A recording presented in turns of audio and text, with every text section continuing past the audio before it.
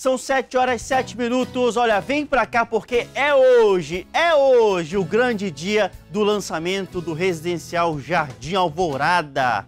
Ó, daqui a pouco a gente vai ao vivo até o empreendimento falar com o Jardel Angelim, tá bom? Ele vai entrar lá do ponto lá, mostrar pra você tudo, você que tá querendo comprar um terreno. É hoje, é hoje. A gente vai entrar direto lá no final da estrada do Calafate. Jardel Angelim só tá se arrumando lá, beleza? Antes disso, eu tenho um recado para você, porque preste atenção nesse recadão da Unip. Subir na vida não é fácil, né? Mas quando você escolhe o caminho certo, é possível superar todos os obstáculos. E na Unip, na Unip você pode. Na Unip você faz sua graduação no grupo educacional presente em diversas cidades do Brasil.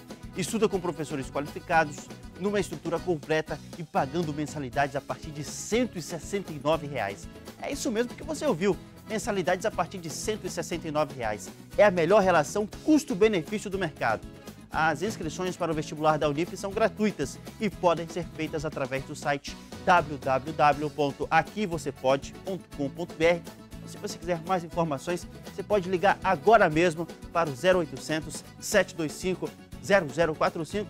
Aqui, ó, tá aqui embaixo aparecendo na sua tela, tá bom? E tire todas as suas dúvidas. E sabe o melhor de tudo? Na Unip você sabe exatamente quanto que você vai pagar por todo o seu curso e termina a sua graduação sem dívidas, preocupações e sem pegadinha do malandro, tá bom? Pronto para enfrentar todos os desafios do mercado de trabalho? Se a resposta for sim, o que você está esperando? Não perca essa oportunidade de mudar de vida. Inscreva-se agora mesmo. Venha para a Unip. Enche a tela lá lá, porque na Unip, na Unip você pode. São 7 horas 9 minutos. Vamos tocar a cora da ripa lá lá. Vamos tocar então Cora da Ripa agora? Então, meu filho, o que, que você está esperando? Roda a vinheta lá lá. Hora da Ripa no ar, o quadro que todo mundo gosta. E se tem ripa, tem um menino lindo. É o cara mais lindo, cara. Sabe, sabe o que a minha mãe mandou uma mensagem no tablet da TV Gazeta aí, o 9989 Sua mãe é a única que me defende aqui. Ela falou assim, filho, diz pro Célio que ele tá uma gracinha. Gracinha. É, foi o que ela mandou dar um recado pra você. Ah, não, acho que ela quer, acho que ela ela foi boazinha demais. Ela foi boazinha demais falando que você tá uma gracinha que esse Ei, o Lalá, o Lalá mandou te perguntar, cadê o milho? que tá, tá É. sumindo tudo. Nossa, cadê o milho, né? É. Cadê? ca- Cadê o milho? Eu pensei que você ia perguntar outra coisa aqui, coisa, né? Que eu já tava com a resposta na ponta da língua aí. Aquela Tá bom? aquela não. É? Ele pediu pra Hã? ele- pediu pra ele perguntar, mas não Pediu? perguntar. Pediu? Não, então Lalá tá é- bom, Lala é. Lala é gente boa. Já, já, o Lala é gente O boa. que, é que nós Ó, temos de hoje? ó, nós temos um monte de coisa aí. Tá?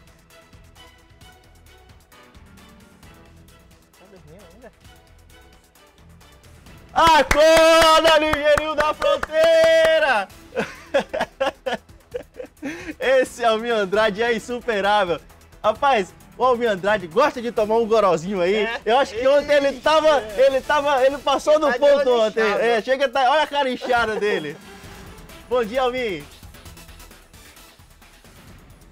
Wesley. Bom dia a todos os telespectadores, né? Do Balão Geral. É, manhã desta quinta-feira temos aí sol, depois de vários dias de muita chuva, muito sol na fronteira nesta quinta-feira. Bem, Wesley, hoje nós estamos fazendo uma matéria para é, cumprir exatamente com a população. As pessoas, as pessoas de Brasileiro nos chamaram em alguns bairros para mostrar a situação e a gente vai rodar agora essa matéria realmente para chamar a atenção, principalmente do poder público municipal. Roda lá lá.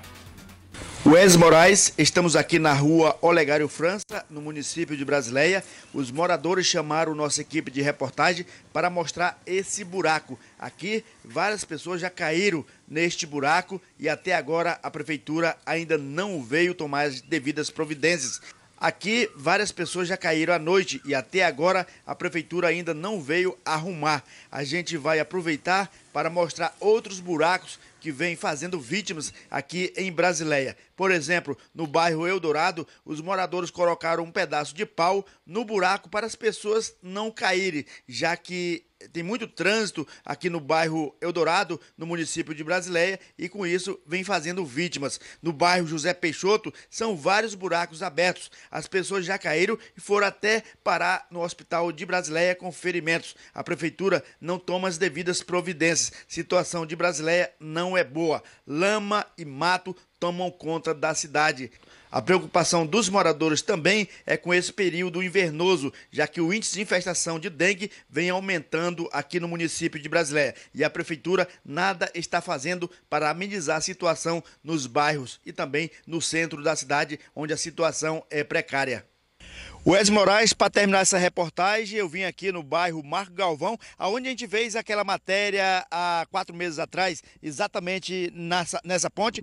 A prefeitura fez o trabalho, colocou só barro. Duas chuvas que deu, olha como é que está esta ponte aqui, já quase deixando de novo os moradores do bairro Marcos Galvão é, ilhado. Realmente uma situação complicada. Apenas duas chuvas fortes é, que aconteceu aqui e essa é a verdadeira situação. E ali em cima o bairro Marco Galbão é realmente uma situação complicada aí e, e é porque ainda não está chovendo muito forte ainda, as chuvas ainda não caíram realmente muito aqui na região do Alto Acre. Quando começar a chover, essa situação vai ficar bem caótica aqui no, bar, no, no bairro Marco Galvão em relação a essa ponte que foi construída aqui, ó. Eles colocaram ali tijolo, né, fizeram o alambrado e agora por cima colocaram o barro. Com isso, a chuva está derretendo e vai deixar novamente o bairro Marco Galvão ilhado se a prefeitura não vir aqui tomar as providências.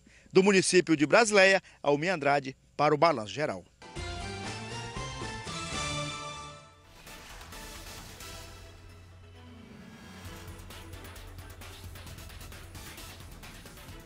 Vai, dale! Eita caramba! Ai! Eita! Calma, moleque. Já, já, Almir. Calma aí. Senta aí, Almir Andrade. Você tá muito nervoso. Você tá muito nervoso. Nós vamos dar um suco de maracujá pro Almir Andrade, tá? Almir Andrade, você é uma figura. Muito obrigado pela sua participação aqui na Hora da Ripa. E vai dormir, vai. Você tá com a cara de sono, Almir. Dormir, vai. Você tá com a cara de sono, Almir. Valeu, Wesley. Balança, balança, Almir Andrade. Balança, garoto. Esse Almir Andrade é uma figura, né? É uma figura, né? Almir, você tem que arrumar tocando o Papai Noel também, hein? Tá dada a dica aí. Colocar a barba, meu irmão, aí já fechou a conta. Papai Noel boliviano do balanço geral. um, um abraço pra você. É a figura. Do... É uma figura. Né?